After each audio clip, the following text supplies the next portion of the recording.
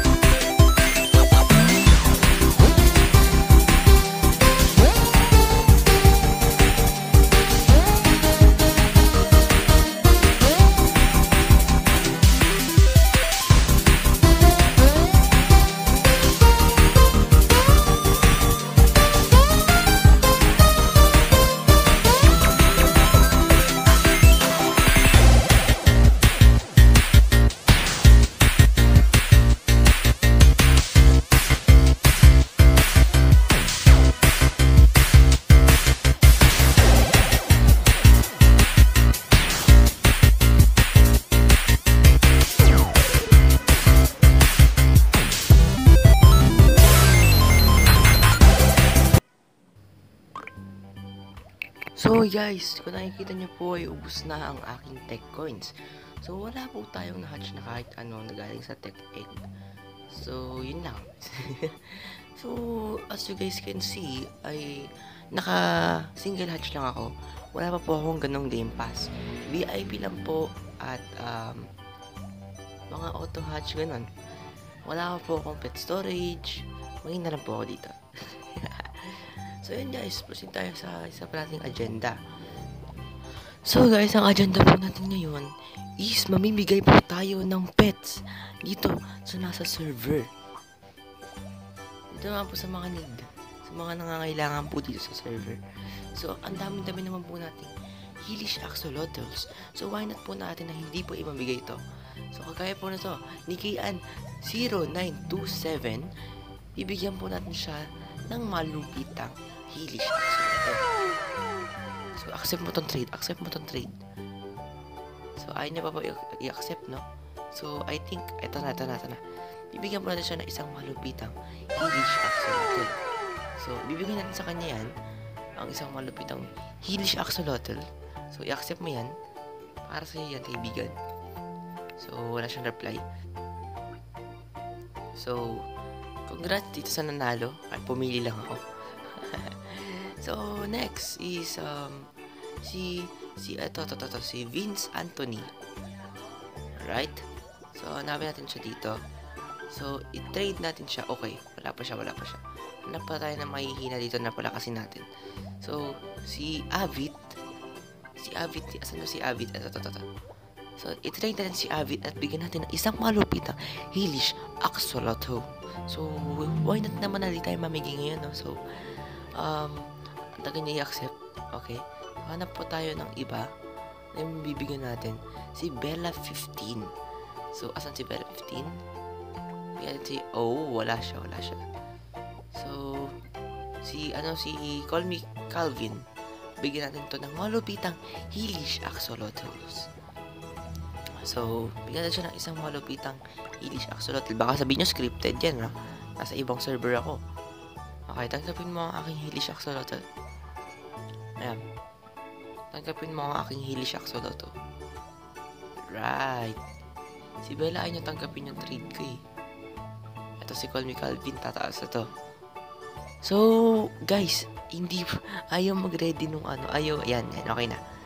So, si Calvin ay ngayon ay 35 trillion na. So, okay, meron pa tayo, di ba, dito sa bangko? meron pa po tayong marami-rami pang mga pets dito sa ating storage. At, oh, ito na si Avid. Bigyan natin siya ng isang axolotl. Oh, hindi, hindi, hindi, hindi, hindi. Ah, sige, didelete ko na lang yan later. Okay, kunin mo na to. Oh, sige, si Kamo Axolotl. Na Dark Matter, pang index ko na lang din yan. Thank you, thank you.